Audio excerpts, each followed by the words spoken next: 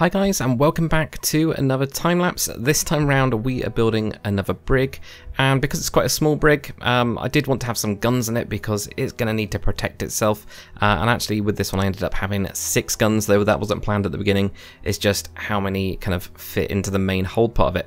So you can see me making the basic shape here using lots of spruce and then actually having it layered with the different kind of colours with oak and then with uh, jungle and then just coming around to the cabin because of course it is big enough to have a proper cabin. Uh, I wanted to make a little bit of detail around that using the acacia uh, to kind of contrast against that, but also having some birch at the back as well, uh, just to give a little bit of that kind of more contrast compared to like the oak, for example. So coming on to the masts now, because it is going to be a brig, I already knew at that point I was going to do three masts, so it's kind of quite easy to find where they're going to fit. Uh, we're going to have two of the square rigs on both the front and the main mast.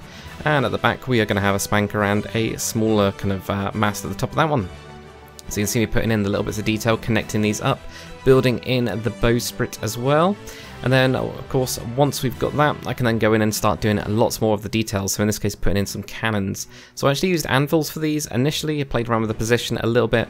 Um, we could have actually added in a couple more of them, so I could have made it maybe probably 10 guns.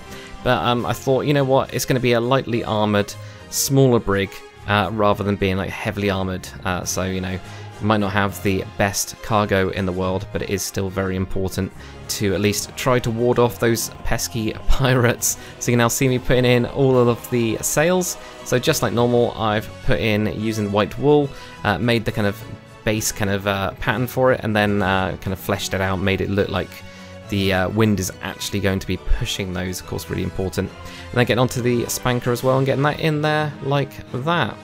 Um, but yeah, I'm pretty happy with how this one turned out. I especially like how the back goes up quite a bit, and that really enabled me to do a good kind of cabin space above the water, which I quite like. So here is the finished build guys.